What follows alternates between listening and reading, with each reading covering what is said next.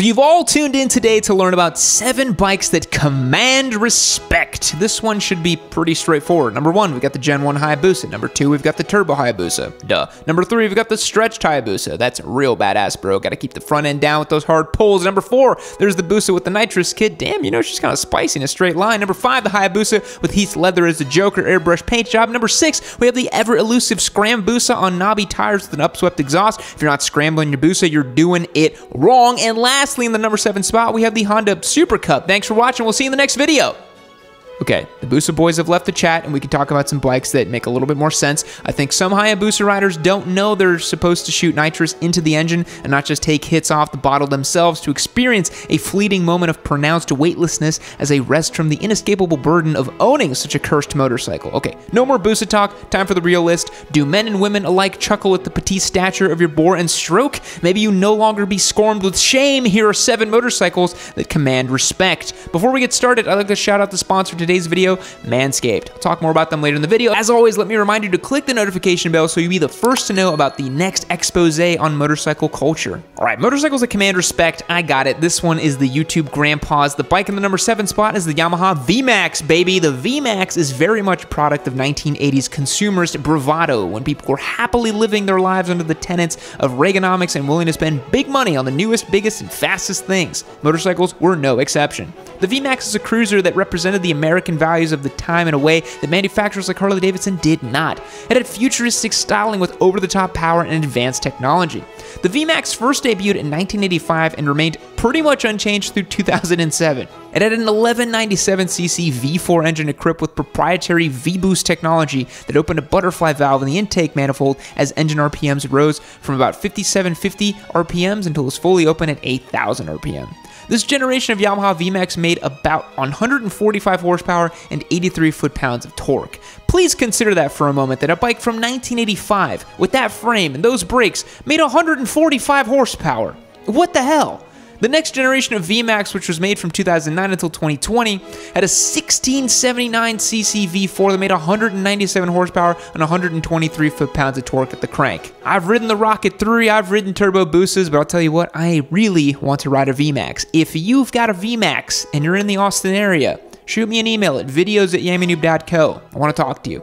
In place of V-Boost, the modern VMAX had an electronically modified intake system that shortened in length as RPMs rose. Talk to any rider in his 50s and ask him what the best, fastest, or craziest motorcycle ever made, and I bet you he'd mention the VMAX. I'm not going to say it's necessarily a handsome looking motorcycle, it looks a bit weird, but more like a bike from an anime series come to life. It's got history, it has clout, it has zero regard for anything other than being fast and reminding old men that they can still achieve an erection without pharmaceuticals pharmaceutical influences. And if that doesn't command respect, I don't know what does. Plus, Nick Cage rode one in Ghost Rider 2. Yes, there was a sequel to Ghost Rider, and it's not Ghoster Rider. Missed opportunity. All right, moving on. The motorcycle in number two spot is a little bit of a shameless plug, but a worthy entry nonetheless is the Ducati Street Fighter V4S. The Ducati logo in of, of itself commands respect and shows other riders and normies alike that you're in the upper echelon of motorcycle society. You are an elite. We have a Street Fighter V4S as a giveaway bike in the shop right now, which allows me to talk about it in a way that is more objective and analytical, as I am not what many would likely expect from the average Ducati Chad. The prototypical Ducati rider is self-assured and respected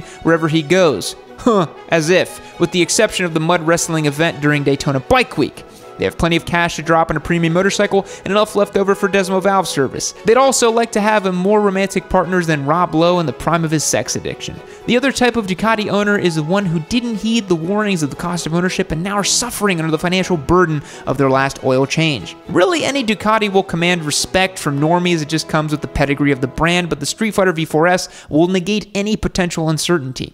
It has an 1103cc V4 that makes 208 horsepower and 90 foot-pounds of torque. It is an incredibly premium riding experience that gives the rider the ability to modify even the smallest minutia in their settings. And you cannot forget about that absolutely intoxicating V4 exhaust note that revs out to 14,500 RPM. Roll up on a Ducati Street Fighter and everyone will know who the top dog is at bike night. Unless you have a Turbo Busa. But yeah, this is a giveaway bike, so one of you will get to be that said top dog whenever we give it away in a few months. Go over to yammienoob.co to find out more. If your bike commands respect on bike night, you gotta make sure your man parts command respect on date night as well. The easiest way to earn the respect of potential partners is through a little bit of essential male grooming. If your garden needs tending to, head over to manscaped.com and check out their skin safe lawnmower 4.0. It is a perfect tool to cut down that crotch force without sending you to the ER for nicking a vital artery.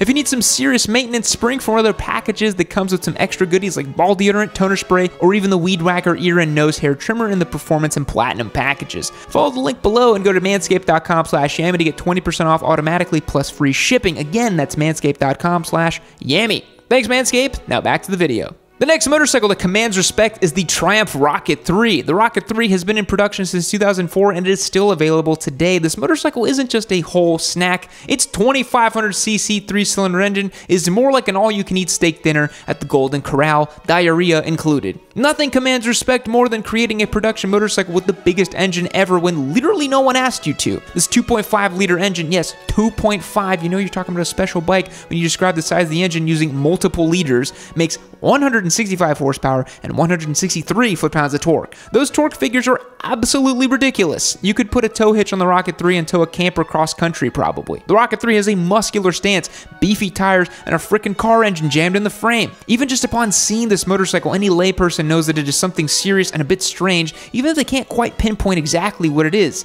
Is it even of this world? It looks more like a prop from a sci-fi movie than an honest-to-God production motorcycle, and the knowledgeable rider instantly recognizes the Rocket as the tire-shredding torque monster that it is. Apollo 11, forget about it. Even Buzz Aldrin would be humbled if he had a Rocket 3 nestled neatly between the legs of his spacesuit. The Rocket 3 is certified respectable. The bike in the number 4 spot of respect commanding motorcycles is the Kawasaki Ninja H2, as much as it pains me to say that as a Turbo Hayabusa boy. While the Rocket 3 is an absurd motorcycle that no one asked for, the H2 and respectively ZH2 are bikes that came into the existence after a rogue band of Kyles waterboarded the Kawasaki design and engineering executives with monster energy until they agreed to produce a 200 horsepower supercharged Ninja from the factory. In reality, the H2 is named after the H2 Mach 4, which was a three-cylinder 750cc two-stroke motorcycle that Kawasaki made in the early 70s that was considered to be one of the fastest accelerating motorcycles in the production at that time.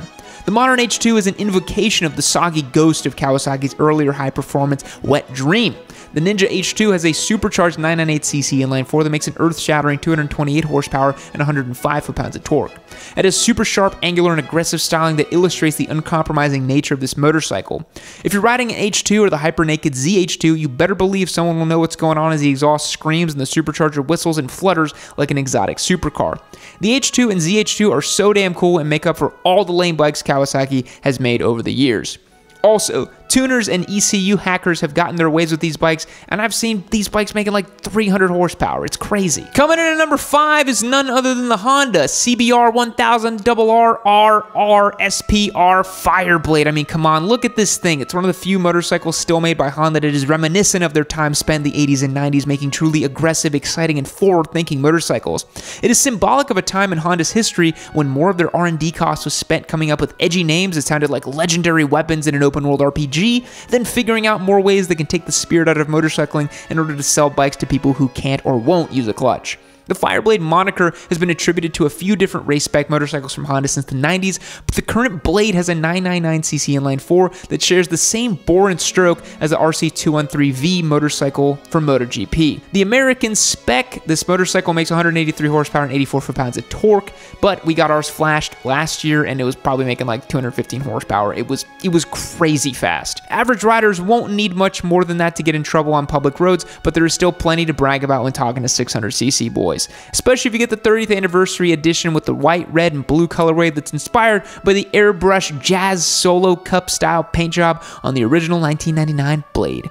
It's an amazing, iconic motorcycle and commands so much more respect than a Honda Rebel 300, CBR 500R, NC750, or any other painfully adequate bike Honda has managed to stuff down the throat of some unsuspecting rider over the last 50 years. Speaking of painfully adequate, we can't do a list like this and not mention Harley Davidson. I know I'm kind of sick of it too, but hey guys, HD sells more motorcycles than anyone else in America, and it is kind of hard to deny that middle class dads are so infatuated with the brand that they'll kiss the road any big stonking V twin has leaked oil on. So, anyway, number Number six on the list is the Harley Davidson Road Glide. And now, it doesn't necessarily have to be a Road Glide, just about any 800 pound bagger will make a true Harley pirate cream in their assless chaps, but for today's purposes, the Road Glide gets to be singled out and wear the dunce cap in the corner of the classroom. The touring bikes from Harley Davidson have been around since 1980. The engine specs don't matter all that much for bikes like this because Harley riders refuse to use the metric system, but modern baggers usually have around 1800cc V-twin engines and a healthy smattering of torque. But these bikes aren't written for power or performance, they exist to be parked out in front of the worst in town so middle-aged men can sit on each other's $25,000 chrome vibrators. The last bike on our list is the Suzuki Hub. Hayabusa, baby. You know I had to put it on the list despite the little zingers in the intro. I mean, come on, it's the Hayabusa, dude. They're absurdly fast and arguably a little ugly, looking like an inline 4 beluga whale or something, and often ridden by the most cringeworthy riders that are like if Vin Diesel replaced Marlon Brando in a remake of The Wild One. The Busa is a physical incarnation of a meme, a glob of clay that any mentally ill artist can form in their own demented creation. You can show up to bike night on the most horrific example of a custom Hayabusa that's gone too far, equipped with a Wish.com turbo kit, airbrush Teletubby paint job, a white fur seat, and underglow that pulsates to the beat of a crazy frog blasting from the JBL speakers zip tied to your triple tree, and without a doubt, a handful of people are still going to think it's a really cool motorcycle, just because it's a Hayabusa. And even normies know what a Hayabusa is. It just commands respect, the very word of it. And there's something special about that. That's why I got one and turboed it myself, just to see how the other half lives. Thank you for watching the video. If you want to see more like it, make sure to subscribe. If not, may you be haunted by the ghost of forgotten stock Hayabusa swing arms. Fact. Most American car horns honk in the key of F. When the car was first commercialized, the amount of notes in a car horn indicated social status. The more honks, the more elite.